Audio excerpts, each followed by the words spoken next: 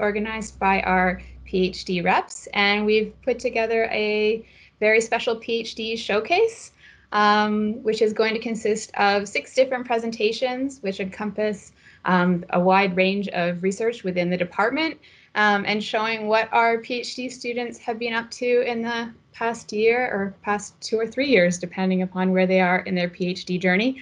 Um, so they're going to run one after the other and in sequence. And if you have a question about a particular presentation, please put it in the chat box and we will answer questions um, for all of the presenters at the end of the session. Um, and in addition to that, we would invite you to join the presenters after the session um, in the virtual wine and cheese, which will take place on Wonder. Um, so with that, I will ask Kemi to share her screen and we will get started.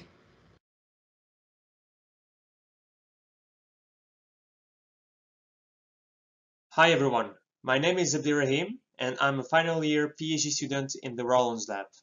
In our lab, we work on several exciting biophotonics projects ranging from microscopy, holography, all the way to microfluidics and optical ultrasound imaging. But today we're going to talk about structured illumination microscopy or SIM. We're going to explore the speed limits of this technique and see whether we can see both small and fast. Let's first start with some background. As you might know, conventional microscopes can only image down to a finite resolution that we call the diffraction limit, and this is around 200 nanometers. Any features smaller than this size will appear as blurry. As the name suggests, this limit results from the diffraction of light. As you can see on figure B, the image of a point by an optical system is not a point, but what we call an airy pattern. Therefore, if two light sources are too close one to each other, the airy patterns will overlap, as you can see on figure C, and we will not be able to resolve them. The diffraction limit has long been thought to be an unbreakable physical limit. It was only a few decades ago that new super-resolution methods were discovered, which are capable of overcoming the diffraction limit and for which the 2014 Nobel Prize in Chemistry was awarded. SIM is one of these techniques and can image at twice the resolution of conventional microscope. You can see on the figure below, on the left you have the image of a wide field microscope, and on the right the resolution is much much better with SIM. Let me explain how SIM works. As you might know, in traditional fluorescence microscopy, we illuminate the sample, which is the image on the left, with uniform light, and then we collect the emitted fluorescence, which is the image on the right. Because of the diffraction limits that we mentioned earlier, we lose high resolution information in the process. On this example, the stripes on the scarf of the lady that we could see on the left picture, which is the sample, are no longer visible on the image given by the microscope on the right picture. With SIM, this is a little different story. Instead of projecting uniform light onto the sample, we illuminate it with striped lights that we shift and rotate at different angles, as you can see in the middle picture. And this allows us to extract high resolution information from the sample that we could not have access to with traditional microscopy. As you can see on the left picture, we cannot see the lines on the scarf of the lady, but then we can reconstruct these lines on the right picture with a super resolved image. It still sounds mysterious, right? To try and explain it a little better, let us take the example of that chair. Most of us must have seen these chairs in the department. You must have also noticed that strange patterns appear on them. Did you ever wonder where they come from? Well, if we zoom in a little bit, we can see that the chair is actually made of two meshes superposed to each other. And these strange patterns appear at the places where those meshes are not exactly aligned. This is what we call the moire effect. Long story short, when you superimpose two high frequency patterns on top of each other, you're going to see a resulting image that contains lower frequency. And this is exactly how SIM works. By projecting light at high frequency, we can see higher frequency information from the sample that we would not have seen otherwise. As we said earlier, in 2D sim, we illuminate the sample with stripes that we shift and rotate three times. And this gives us nine raw images that you can see on the left. Then we feed these nine images into a reconstruction algorithm, which will generate a super resolved image that you see on the right. I don't have time to go into more details on how the reconstruction is done, but as you can understand, since we need nine images to reconstruct one single super resolution image in SIM, the temporal resolution of SIM is going to be worse than that of conventional microscopy, in which we only need to acquire one image per time point. But we recently learned about an image reconstruction method called rolling SIM, which claims to improve the temporal resolution of traditional SIM by a factor of 9 by reusing the same dataset but in a different way. Let me explain. In traditional SIM, we use the first row images 1 to 9 to reconstruct the first SR image, and then row images 10 to 18 for the second SR image.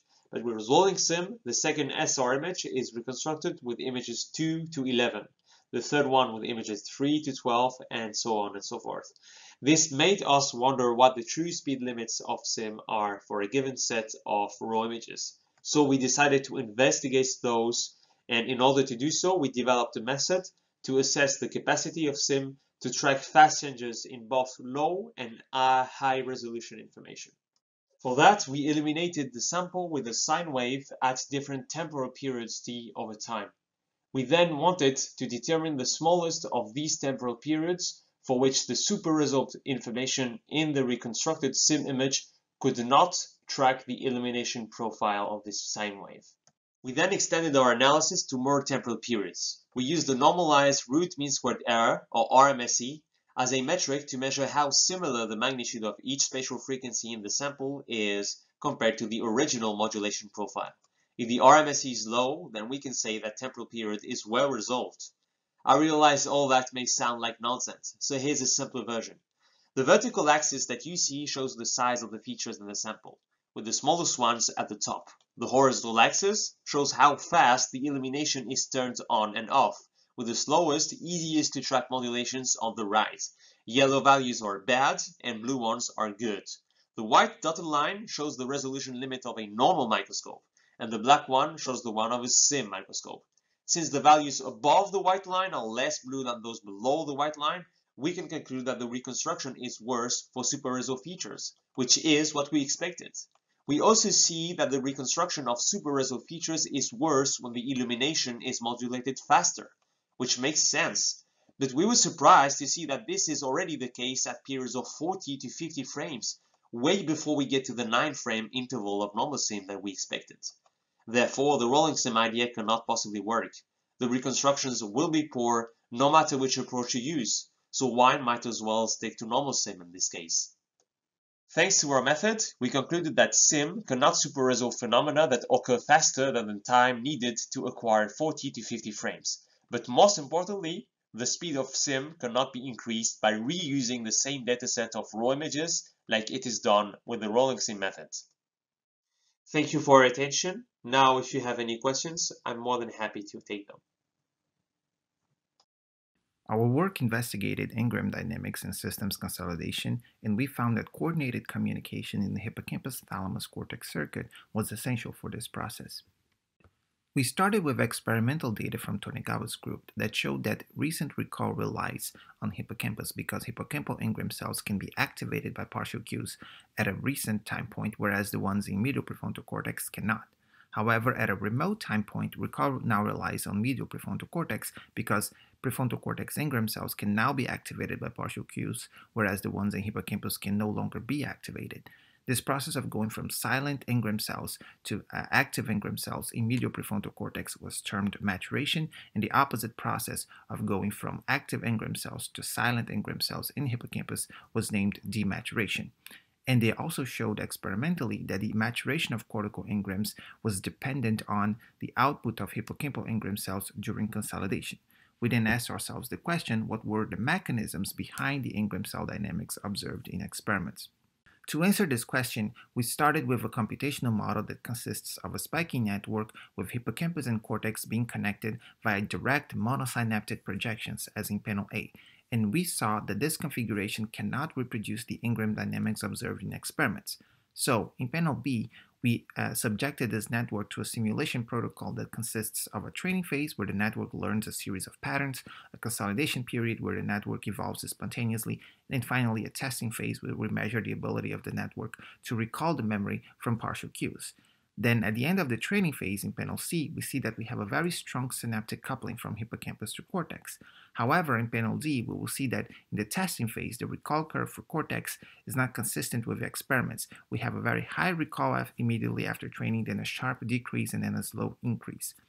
And then in panel E, we block the engram cells in hippocampus during the consolidation phase to probe their role in the maturation of cortical engrams. And then in panel F, we will see that now we have a very flat recall curve for cortex, which is also not consistent with what is observed in the experiments.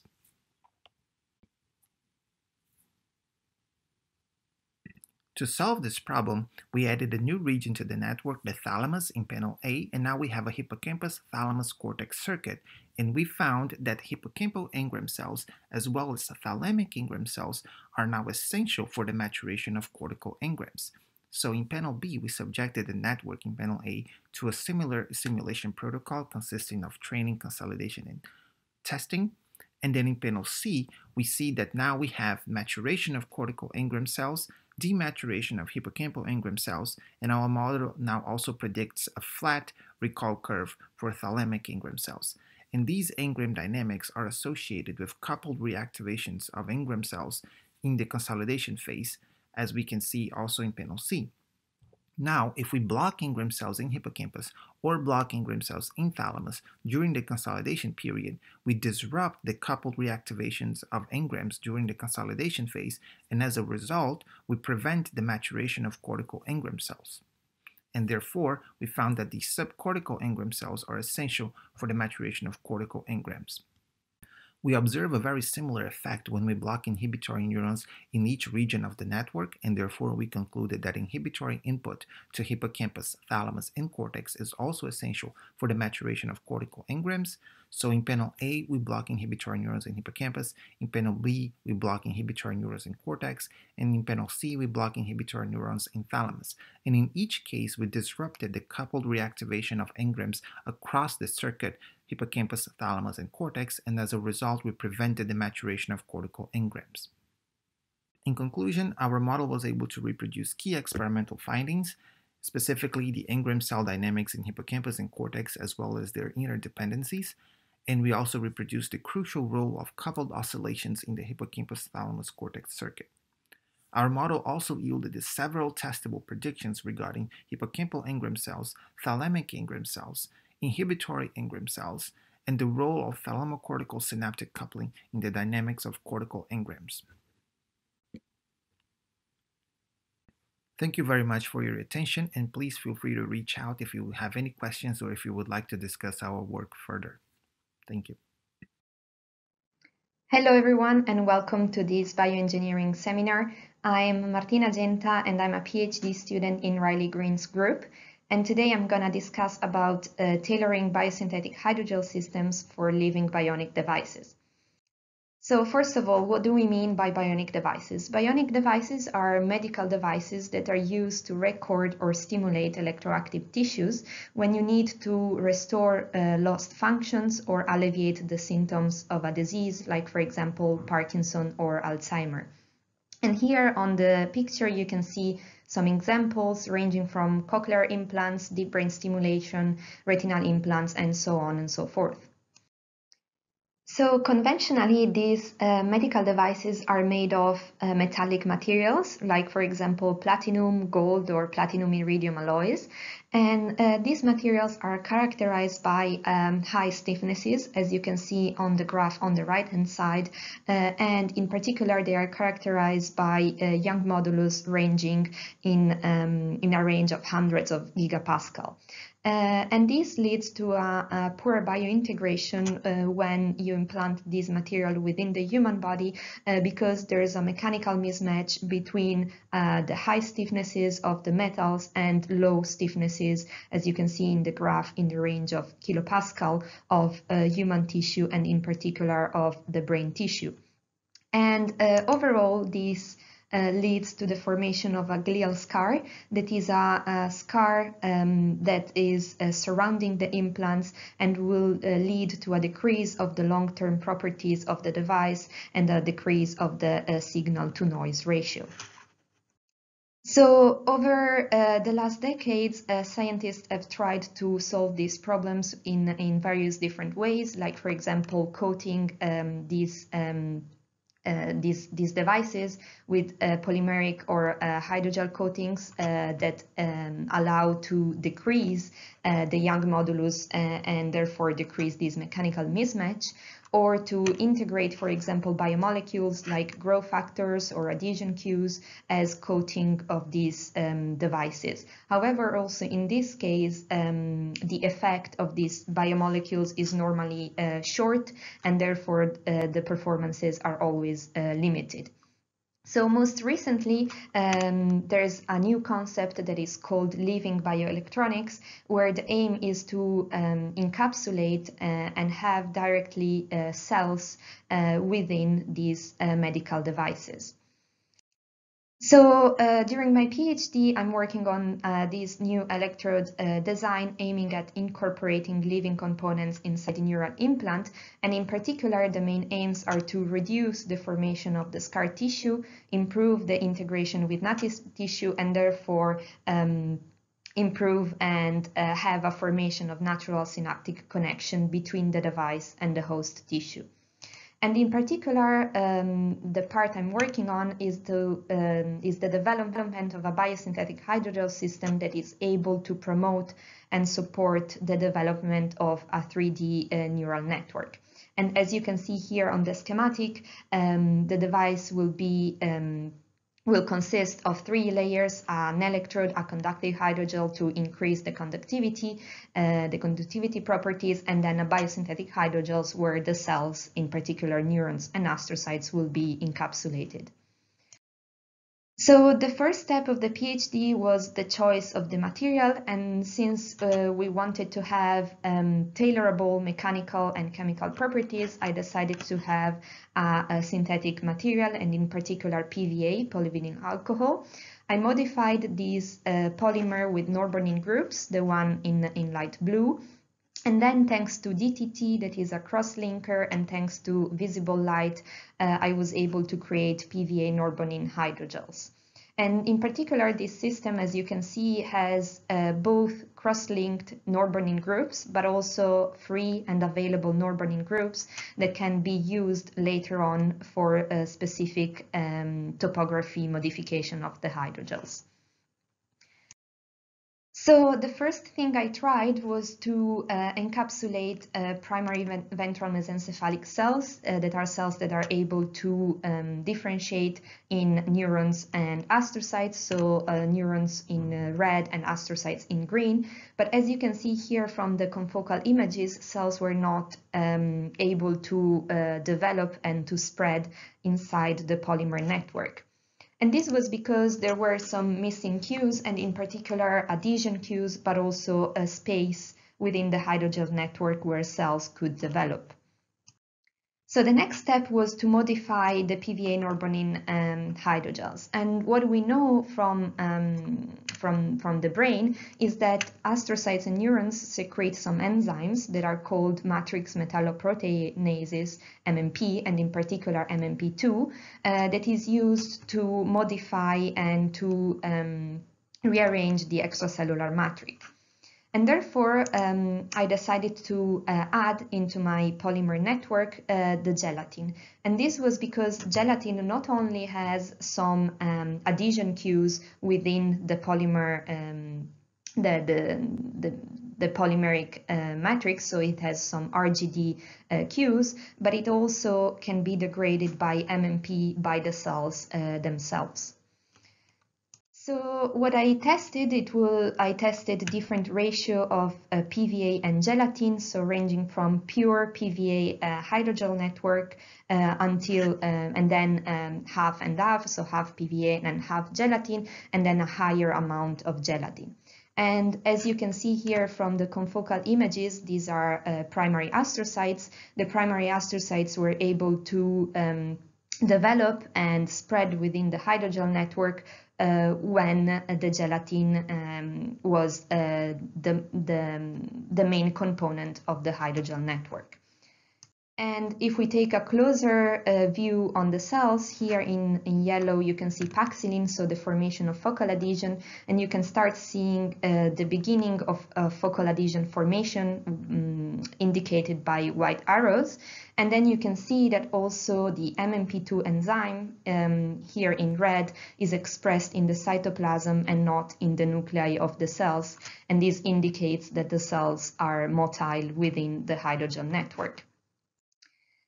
So overall, uh, synthetic, pure synthetic PVA norbornene hydrogels did not did not allow primary cells connection, but the introduction uh, of gelatin within the hydrogel supported primary astrocytes development and adhesion.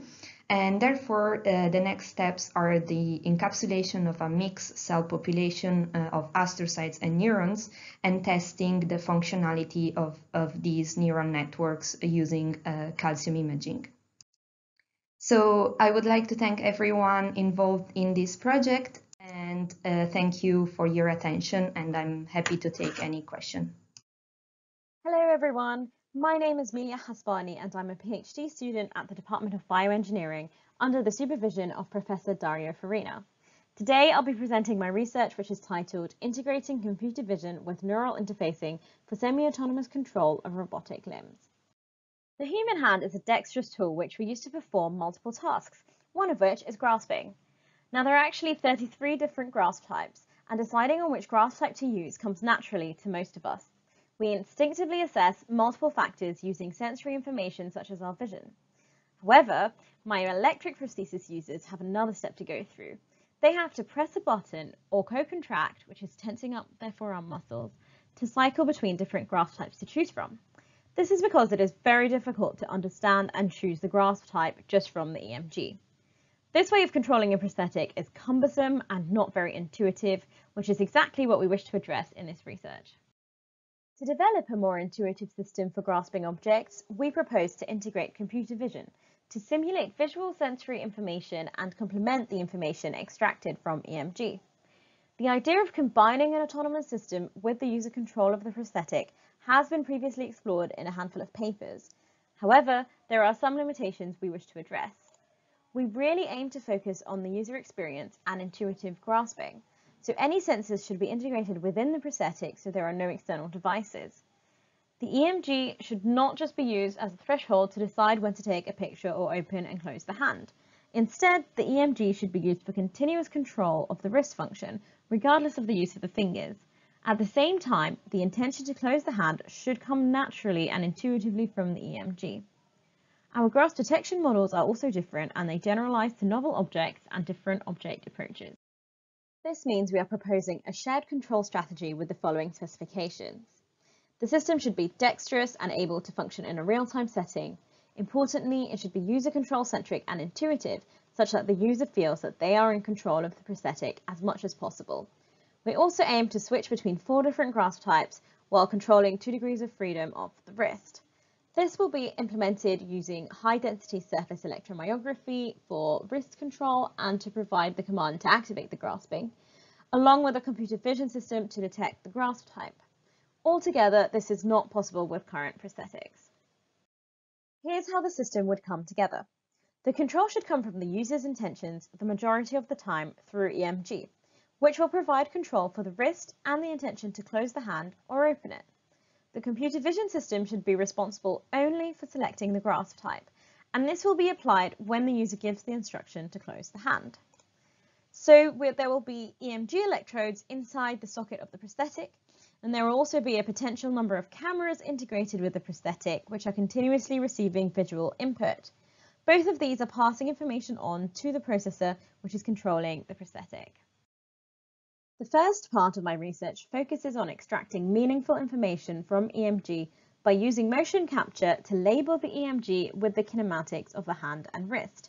We then use this to create and train regression and classification models, so we can predict the wrist angles from features of the EMG and also classify the hand function into opening, closing or neutral. During the study, we record EMG and motion capture of the subjects at the same time while they perform a series of movements of the hand and wrist. These include simple one degree of freedom as well as combined degree of freedom movements of the wrist and hand, including four different grasp types. We then extract the root mean square and further spatial features from the EMG, and from the motion capture, we calculate the angles of the wrists and fingers. From this study, we can see that we are able to predict the angles for the wrist from the RMS feature of the EMG. And overall, we get an R2 score of greater than 0.8 and a root mean square error of less than 0.15. We also present the confusion matrix from when we are classifying the movement of the hand as either opening, closing, or neutral. Though the classification does not seem too high, the results refer to hand opening and closing when classified on top of wrist movements and in different positions of the wrist, in which case these results are promising and could be further improved with the integration of the computer vision system. The second part of my research focuses on the computer vision system, where the aim is to identify the grasp type based on an external input for an unlimited set of objects. We do this through developing a computer vision algorithm with hardware embedded on the wrist. We focus on four different grasp types, so out of the grasp types available from prosthetics and based on anatomical and practical uses of humans, we choose to focus on the four grasp types shown here, which forms the basis for our classification algorithm. This algorithm consists of several steps. An image is pre-processed and then passed through a convolutional neural network to create a level set mask which provides features for an unsupervised k-means clustering algorithm to detect the grasp type. This was trained on images from the Jacquard dataset to provide the results in the confusion matrix, where we can see that we classify 88% of grasp types. This result is on single images, while in the dynamic case, you would have multiple images before deciding, which in principle would boost the confidence in the accuracy. The next challenge was to convert the system from a static to a dynamic system, which is continuously receiving images and updating the grasp type detected. The flowchart indicates the general process, which we have described before, but in addition, we are adding these extra steps to reach a real-time system. The main challenge to focus on here is the processing time, which needs to be sustainable in a real-time system. So to conclude briefly, our aim was to create a more intuitive prosthetic control by adding an external system to help detect the grasp type. To do this, we have a regression algorithm to predict the wrist kinematics from the EMG and a classification system to detect whether the user intends to close or open the hand. This integrates with the computer vision system, for which we have developed an algorithm to detect the grasp type, but we still need further work to refine the real-time system, as well as further work bringing the two systems together. I would like to thank the EPSRC for funding my research, and I would also like to thank several members of the Neuromechanics and Rehabilitation Technology Group for their support.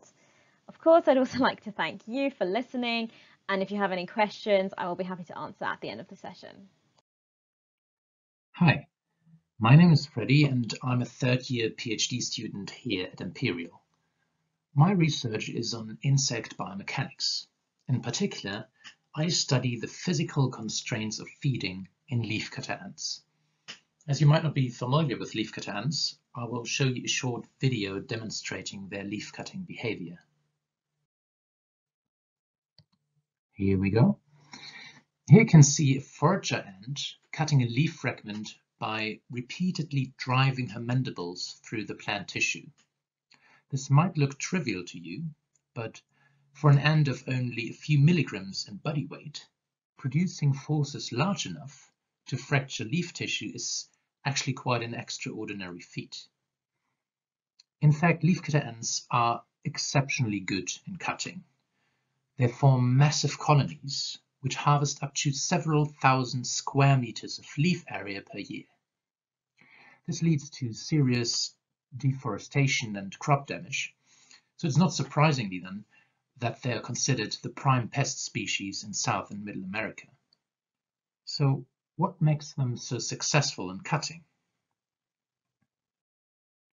In order to approach this question, I want to present three distinct chapters of my PhD.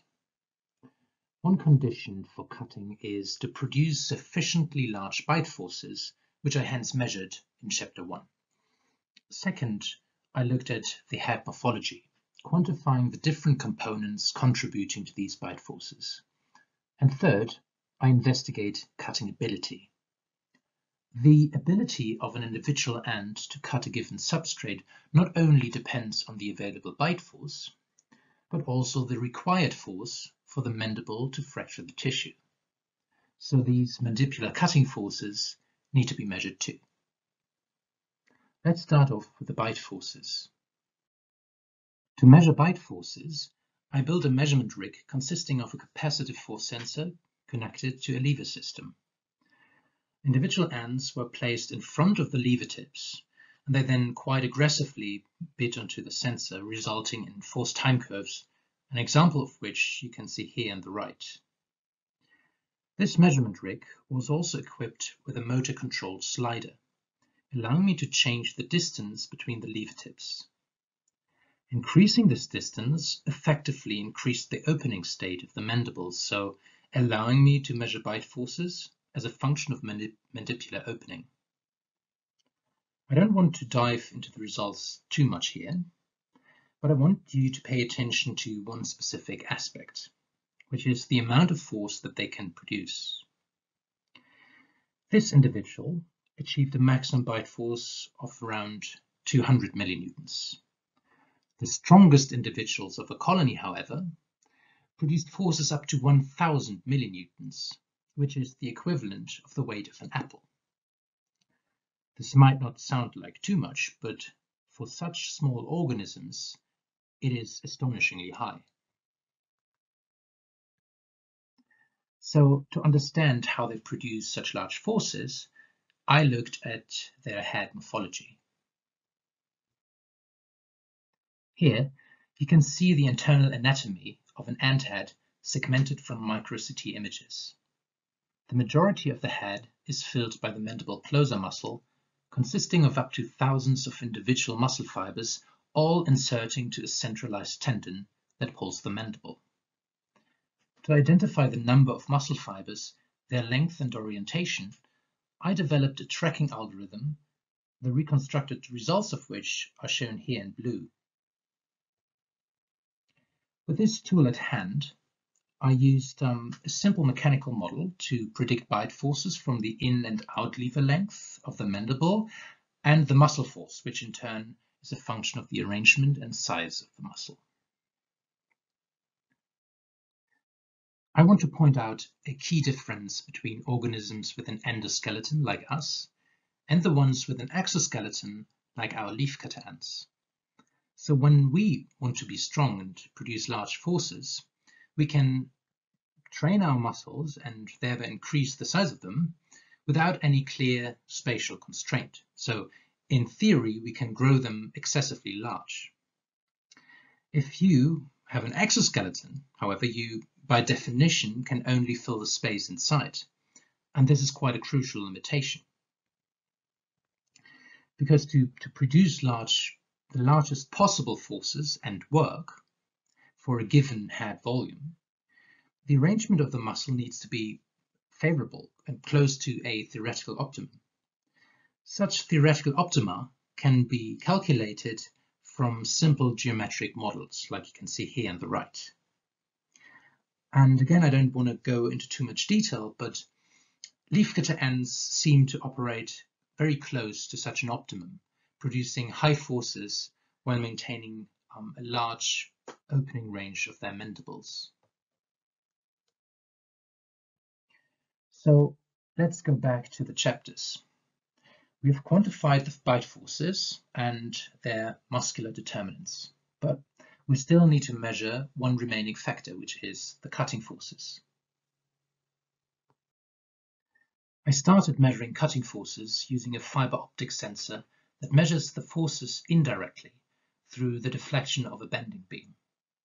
At the free end of this beam, a polymer film is mounted, on top of which an end head is placed in a fixed position.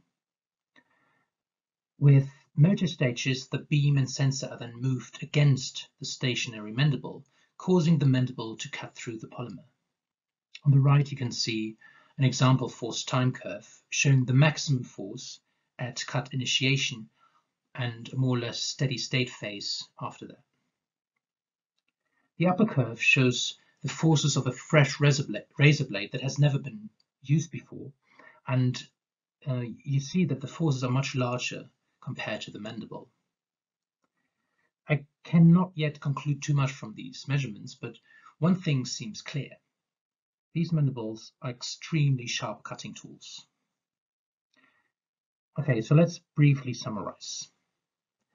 Leafcutter ants produce excessively large bite forces that are enabled by closer muscles with a near optimum arrangement. These muscles drive extremely sharp mandibles, allowing leafcutter ants to cut even very tough plant materials. I uh, want to conclude this presentation by promoting our group a little bit. So um, there is much other interesting research being done in, in our group, not only on leafcutter ants, but also other insects. And if you're interested, you can check out the website or the Twitter. Um, and yeah, if there are questions to my talk, I think there is a Q&A session in a bit, so don't hesitate to ask. Thanks. Hello, I'm Enrico. I work in the Sensory Neuroengineering Lab, where I study the interaction of audio and visual components of speech. So let's talk about audiovisual hearing aids. I'll start with an introduction on the challenges limiting traditional hearing aid adoption, the role of visual cues in speech comprehension, and how this project is inspired by this latter principle. The first motive for this study is the fact that, while 10% of the UK population live with hearing impairment, hearing aids have surprisingly low adoption statistics. Despite a steady increase in the last 10 years, as this data from large UK surveys suggest, still less than half of those with hearing impairment own hearing aids. This is also despite the NHS providing the devices, the fitting, and the screening for free. Actually, the free primary care must be working. The UK is amongst the countries with the highest adoption rate. The second motive is that speech and noise is understandably hard to understand for those with hearing difficulties. Speech and noise is a complex issue. In noise environments, the spectrotemporal properties of speech are degraded, making speech perception a difficult task. We often refer to this as a cocktail party scenario in the field. Speech and noise issues are related to the degradation of the middle and inner ear, as well as issues with the neural pathways of sound and speech perception upstream. We refer to the latter as auditory processing disorder, a hearing condition often diagnosed in those with degraded auditory processing pathways, but healthy peripheral hearing. The third ingredient is that the natural audiovisual speech improves the speech reception threshold. Sumby showed this as early as 1954. It's quite intuitive, We've all noticed the effect of degraded visual information during the pandemic, as people wearing face masks are harder to understand. The interesting thing is that speech perception is enhanced by visual components more pronouncedly in the hearing impaired, as Puschmann et al. showed recently. So, how does the brain inform audio processing with visual stimuli? Converging evidence supports the idea that ongoing microscopic neural oscillations reflect neural coding of stimuli, this rhythmic cycling is thought to be related to the states of high and low excitability in the local areas. This phenomenon has been widely credited to support numerous cortical functions, including speech parsing, as reviewed by the recently departed Peter Lakatos as early as 2006. In the figure on the right, you can see how that might work. If the stimuli is periodic, phase locking it into the high excitability state increases the response. So here we show an example of how the mouth opening event occurs just before the acoustic signal increases in amplitude. This visual event can be thought of as a signal that resets the phase of neural stations in the auditory cortex to prime it for the upcoming auditory event. So there we are, done with the background. I'll now summarize the work done on this project. Let's start with the aims. First thing to clarify is we don't build hardware nor clinically or commercially viable software. First, we must understand what types of visual signals best improve speech and noise perception in which populations, and we do so both behaviorally and in terms of neural pathways. So we ran some behavioral tests on humans. We employed the audiovisual grid corpus made of sentences of the type place green at P5 please or set red at G8 again to measure comprehension in background noise by asking participants to repeat what they had heard while reducing the quality of the audio with background noise. For those interested, we ran the test at the 50% comprehension threshold, which for this corpus is at minus 9 dB signal to noise ratio. Along the x axis, you can see the various types of visual stimuli. The rightmost is the natural video as seen by a camera facing the speaker. The next along, towards the left, is the same type of image but reconstructed by an artificial intelligence software that takes the audio and a still image as inputs. The next along is a result of running edge detection on the first, and the fourth one is a cartoon constructed from the first. The first two are simpler signals, namely circles that appear to grow and shrink on screen in time with the audio. The y-axis shows comprehension increase with respect to control condition with a black screen. As you might or might not expect, natural images perform best, with the fake image performing surprisingly well still. It is apparent, looking from right to left, that the more information is removed from the visual stimuli, the less the resulting video helps in understanding speech. Simpler is not better in this case. We find that texture is key. Also note that the first repeat of the experiment, the circle condition distracted more than it helped. We also used electroencephalography to image the brain while participants performed a similar task, but with longer audio segments, stories, rather than short sentences, for technical reasons. So let's have a look at what the analysis of the EEG data looks like. To simplify, you might think of the x-axis as time with respect to the onset of any given syllable. So the syllable starts at time zero, and the brain responds to the syllable in the following few hundred milliseconds. The colorful squiggles then represent the brain response to the average syllable. For the interested audience member, this is actually a continuous transform, derived by reconstructing the instantaneous audio envelope from a range of time lags from the EEG data. As you can see, and surprisingly if you consider the behavioral results, the circle is the condition that generates the largest and earliest neural response. This same conclusion is even more apparent when considering a condition where the audio was turned off and participants lip read a silent video. Our results agree with similar studies. Much like O'Sullivan et al., we see that the brain can derive a representation of the auditory stimuli from visual components of speech. Further analysis will allow us to understand why texture-rich visual stimuli result in better speech and noise comprehension improvements, despite eliciting lower entrainment. Another aspect which is work in progress is a computational model that simulates the behavioral exercise that our human volunteers performed. The hope is to be able to use such a model to find an empirical value for the amount of information that is present in each of the video types. Another way to think about this is Does the implicit training we have in lip reading from faces, rather than simplified visual signals, hinder our ability to perform as well as we might otherwise with the latter? This work isn't an end in itself the biggest issue with implementing audiovisual hearing aids at the moment is that you'd need to carry a big GPU on your Google Glass-like hardware in order for the models proposed by Eskimez and others to be able to produce helpful and realistic-looking speaking faces from noisy speech.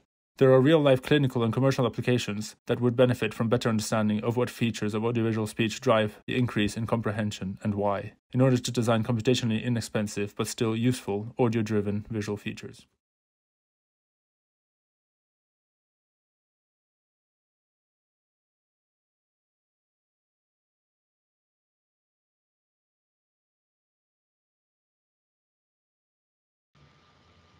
Okay, so after that um, wonderful set of talks, we are going to open the floor to questions for our speakers.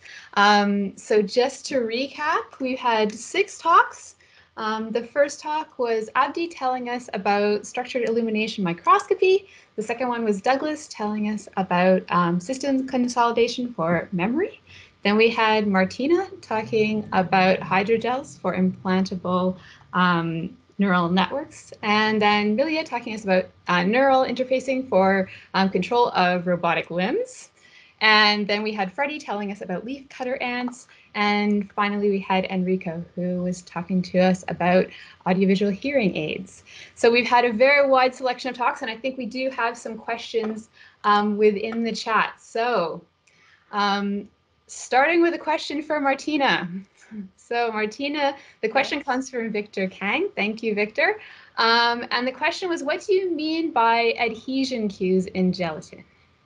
Yeah, so thank you for the question. So what I meant is uh, gelatin is derived from collagen and collagen is made up of uh, amino acids. And in particular in the gelatin, there's a sequence of amino acid that is RGD, uh, RG, um, arginine, uh, glycine, and aspartate. And this is the sequence that cells recognize for adhesion. So actually the cells can adhere to this sequence specifically um, in uh, that is present in the gelatin. Great, thanks. Um, we actually we have another question for you, so maybe we'll ask this at the same time. And this question comes from Andre. Um, so Andre says, if such a living bioelectronics electrode is inserted in the brain, it will record signals from the neurons growing in the electrode and together with astrocytes covering it, not from neurons in the brain. Is that right? And if so, why is it useful? And then he apologizes. Yeah, that's no, that's that's a fair question. Uh, actually, what I didn't mention in the talk is that the um, hydrogel is designed to degrade, so it will not stay there forever. It's just helping the initial part when there's the acute inflammation, and then it's designed to degrade so that the the device will be directly in contact with cells and the brain itself, and no more what we insert inserted. Thank you. Yeah, thank you. That answered your question, Andre? Yeah, thanks. Wonderful. Um, okay, so next we have a question from Fabian. I don't know if Fabian wants to appear on screen. Um, but the question says, love the computer vision approach to decide on which grasp type to employ, Milia. Um, are you planning on refining the system online with feedback from the patient? Thanks for your question, Fabian. Um, so it's something that we might consider in the future. Oh, hi. So, so there are systems which use similar computer vision algorithm um, for the grasp type, and they have they use like the Google Glass, and the camera is mounted on the Google Glass, and they use um, like augmented reality to sort of help the user with live feedback, and then the user can give feedback through the EMG.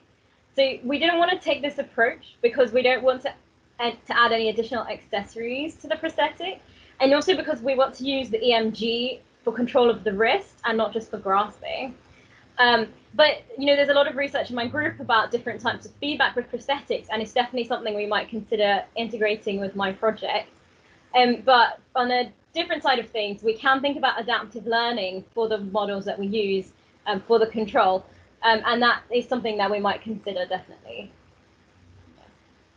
Sounds very interesting. Thank you very much uh, for for elaborating a bit on that. Um, I I love the the idea that you take these these huge data sets out there and kind of relabel them for things that you can you know grasp in, in certain orientations. I think it's a uh, it's a very clever approach. Thank you.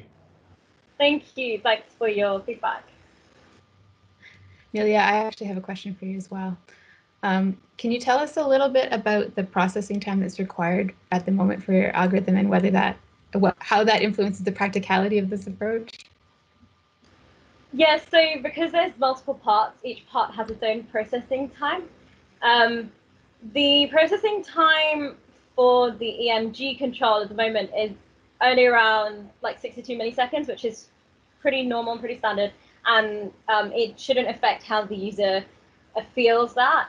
Um, at the moment, the computer vision system is something I'm literally working on at the moment. Um, it's still pretty slow for real time. Uh, but with some more computational processing, it will pick up speed very much. So I'm aiming uh, to bring that down to within like 50 microseconds to 100 microseconds. Yeah. Great, thank you. Um, so just to encourage people, if you have questions, please put them in the chat. Um, I think the chat is open for everybody to post questions now. So um, Next, we have a question that is for Freddie, but because Freddie is unfortunately um, traveling at the minute, um, David Labonte, his supervisor, is going to field said question, I think. Um, so the question comes from Naomi, and the question is, if you were to design a super functional knife inspired by the leafcutter ant, what does it look like? And what kind of movement should you make with your arm in order to achieve the best cut? Hmm. Yeah, so first I can uh, apologize for Freddie. He is stuck on a train that is delayed. I'm sure he would love to be here and answer the question instead of me, and he would do a much better job than me. So I also apologize that you have to make do with me instead. But I will try, Naomi, to answer your question. So I think the key problem is that there isn't really a good knife for any situation because it very much depends on the actual material that you want to cut. So to give you one example, if you think of a cheese knife, it has holes in it, or some cheese knives have holes in it, mostly because friction becomes a huge problem because you have a relatively sticky material. If you think of a bread knife, it has serrations because you have a fibrous material that you want to cut that is quite squishy, so you need some grip onto the material and rip the fibers apart. And if you think of like say a paring knife for some meat or for some vegetables, it is mostly just very sharp because neither friction nor something like fibers matter all too much. So there's not really one knife that fits all scenarios. Depending on the scenario, you want to design a certain knife. Now, what is the scenario that these end knives are particularly good at? They seem to cut largely relatively thin sheets. And here what becomes really important is that you avoid that that sheet bends out of the way. So If you take a thin sheet and you apply a force, then normally this happens. So you somehow have to prevent this from happening.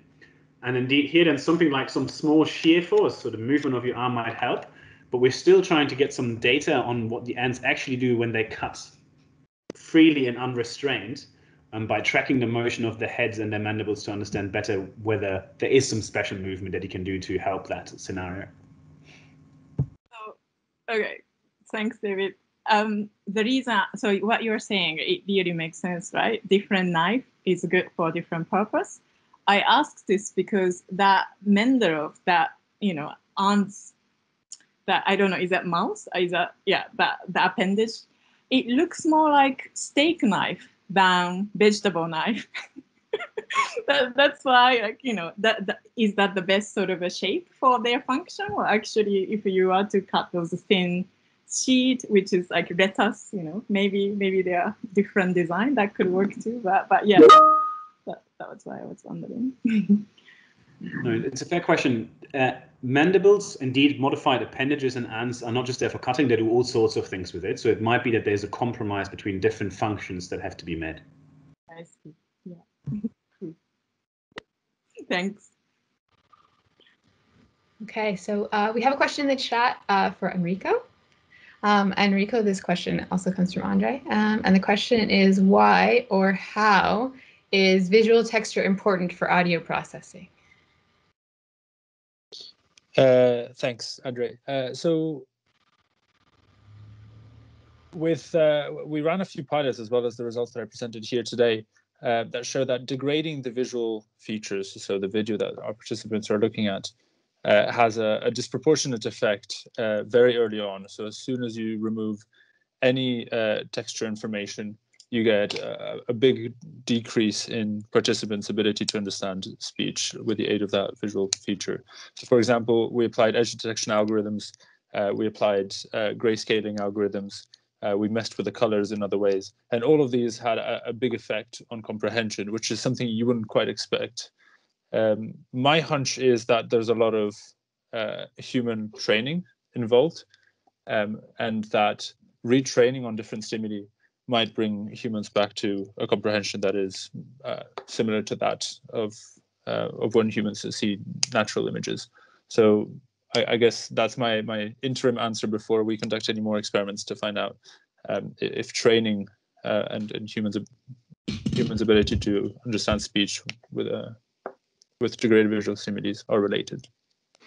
I see. Th thank you. So basically, the reason why I I ask this question is, um, and that's just an intuition, but but you know, visual stimuli have different cues embedded in them, uh, which are processed depending on the type of cue at different levels of the visual hierarchy. If we're thinking about the ventral stream, for example. So for example, texture is processed later or at later stages than contours, for example, right? So by by constructing visual cues and pairing them with with audio, one might be able to determine where this fusion happens, right? If it's only a high level cue that helps, then well, it doesn't happen in V1, for example.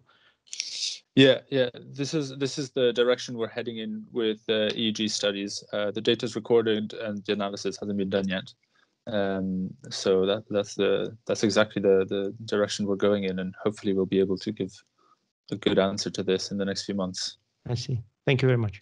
Thank you. Great. Um, okay, so we have another question in the chat from Ilya. So the question is, would you be able to explain how the GRASP classification system works? Um, how are the different types of grasp determined? Yeah, so I, I briefly mentioned that because I didn't want to get too technical. I wasn't sure who the audience would be. Um, but yeah, I can go over that again. So basically, we capture a picture and we do some basic image pre-processing on that, you know, cropping, um, getting into the center of the picture. And we pass that through a CNN and this CNN has been trained to create a level set mask of the image. So what it does, it basically segments the pixels in the image into different categories. And um, it sort of forms different boundaries and layers within the object. And from that, we can extract further features, which we use in an unsupervised k-means clustering algorithm. which literally just splits them into, um, we've got four grasp types, so four groups, um, based on, you know, so basically the level set mask features allow us to extract information about like the shape of the object and the ratio of the object. Um, so, so that's using the k-means, which just splits into the different grasp types. Um, so we don't do like object recognition and then based on the object, we have a grasp type um, because that doesn't necessarily generalize to unknown objects, whereas unsupervised k-means does. And it means that depending on how we approach the object, we might choose a different grasp type. Uh, for example, if you approach a bottle from the top, you might use a tripod grasp for the cap of the bottle. But then if you approach from the side, because we're looking more at the shape of the object, you would use a general grasp. I hope that answers the question. Great, and there's one other question for you about EMG signals. So are the EMG signals strictly picked up from the lower arm or could you pick them up from the biceps and how would this affect the visual aspect of the system? Yeah, so in my project, I have been looking at the muscles of the forearm, and that's because these are the muscles that mainly control the wrist and also um, partly control the fingers. There are other prosthetics that you might be able to partially control using other muscles. Um, some of them also use like muscles of the shoulder. Um, but yeah, it's just, it would lead to a different type of control. Um, the visual aspect of the system is sort of separate, so it wouldn't affect it in that way. But I do use that specific EMG control to decide when the user wants to close their hand. And so I doubt we'd be able to do that using any other muscles because you need the muscles of the forearm. Uh, you'd get better results with the muscles of the wrist, of course, the muscles placed around the wrist. Um, but you you know, when we're talking about prosthetic users, these muscles might not be available for everyone. Yeah. Thanks. Wonderful. Um, Abdi, we have a question for you in the chat. Um, would the uh, sim work faster if you knew that your image is sparse um, by using compressed sensing? Uh, hi, Andre. Uh, thank you for the question. Uh, can you uh, explain what you mean by compressed sensing? Yeah, so you know the, the Nyquist sampling criterion, right? So if you have a dense data array, well, you have to sample at twice uh, the highest frequency. But if you knew that your data vector is sparse, meaning it's mostly composed of zeros, like for example, if we're taking all of the participants in this in this seminar, then uh, only very few people would have their cell phones turned on. So it's mostly zeros and only a few ones. So that's an example of a sparse data set. And there are theorems in math that show that actually the Nyquist criterion does not apply to compressed uh, to sparse data array. So you do not have to sample them uh, densely if you're guaranteed that it's a sample, it's a sparse data set. So you can subsample it, therefore you can go faster. Well, I have no idea if that would be the case. Um, the only thing with the sim is that we need to acquire like uh, images of the whole sample like my understanding of what the way you describe like the sparse sensing is it like when you uh, do some zero padding or things no, no, no, it, or No, no, it, it's an intrinsic property of your of your data. Um, you know, if like if you look at the I don't know the the sky at night, yeah you will see some stars, but mostly it's black. So that's a sparse data set that you might want to sample with super resolution. Uh, so uh, when you talk about um, uh, like sparse uh, are you talking like having a, a sample which is sparse sparser Yeah. okay um with very few objects in it. Um, that's a good question. I think it's it's going the resolution is, is going to be better, but uh, we're not going to overcome the speed limits of sim in this case. In our case, the sample that we use was like a random set of beads. I mean, we simulated beads, which are already kind of sparse. Uh, the problem is it comes from the, uh, I mean, the rolling sim method that we uh, I described uh, does provide a faster speed, but this only is the case for low resolution information uh, when you have like a high resolution feature, the problem is like the, the speed uh, needed to reconstruct this high spatial frequency feature uh, cannot be increased by having just a sparse uh, sample. That's my my understanding of it. Okay, thank you. But thank you for your question. Okay, I think we have one last question before we head over to the virtual wine and cheese. And this question comes to us from Maria. Um, it's for Enrico. Um, so Maria asked, you mentioned that the dots were confusing to the participants instead of being helpful. Uh, could you hypothesize how text such as subtitles added to videos would affect the audio processing of the participants? It's very uh, pertinent question for this year. Yeah, it's uh, it's uh, very interesting. Subtitles um, subtitles uh, are are processed in a different way than the visual cues uh, that that come from the anatomical movements that produce speech. Um, in the sense that they they're, they're they haven't evolved with human perception of speech in the same way that visual cues from lip movements have. They're they're they're an add-on. Uh, they're something we learn um, that that comes from our invention of language and text, right? So so it, it's really dependent on the speed at speed at which people can read, and is a lot less linked with um, um, a nearly hard-coded, if we, we want to talk pseudoscientifically, um, um, ability to, to to improve your speech comprehension um, by by by resetting what what many believe to be the neural oscillations that under underpin your comprehension of speech with which your brain processes speech, uh, resetting the phase such that they're more sensitive to the speech. Uh, and, and, this is the way that we think of visual cues. And, and, text is something completely different. It's your brain doing two things at the same time and trying to juggle the two uh, and can only do them so fast. So it really depends on the speed of the speech and um, your ability to nearly multitask. Okay, thank you. Um, all right, so with that, I'm going to wrap up this section of the session. Um, I'm going to thank very much the speakers for preparing these really interesting talks and for exhibiting such a wide array of uh, research in the Department of Bioengineering. Um, thank you to the PhD reps for um, putting this together and to Naomi and Kemi um, for making sure it went off without a hitch. And with that, I'm going to hand over to Naomi. Thank you very much, Angela, for doing such a great job sharing the session. Um, uh, thank you very much, everyone, uh, for the great talk and the Q&A session. Um, this is the last seminar of the year, and with that, um, I so I I was the um, I am the academic uh, organizer for the seminar series this year. Uh, with the role, I would like to thank all the speakers and the hosts of this seminar series for the entire year. There are so many great talks and um, the hosting was phenomenal as well. So thank you very much, everyone. And uh, the, the almost all seminars have been compiled by a wonderful uh, seminar uh, uh enabler, the uh, uh, communication and event manager, Kemi uh, she compiled all, all the recording in one YouTube channel, which I just posted in the chat.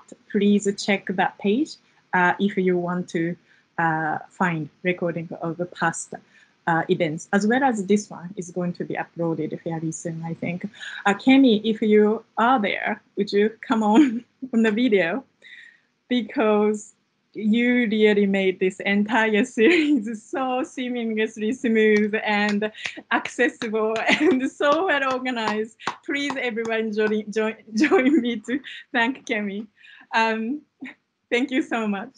Thank you so much, Kemi. Um, thank you, everyone. And thank you, Naomi, because you have been a great help with these, especially when I was off. So thank you so much so uh, with that, I would like to say uh, let's meet in in the other sort of virtual um, BioEng lounge, if you will. Uh, please uh, go there to meet the speakers of today, and also maybe meet each other and then say, you know, sort of just uh, mingle a little bit at the end of this very very long special year that we had. Um, thank you very much, everyone. Um, see you in Wonder, I guess. Thank you, everyone.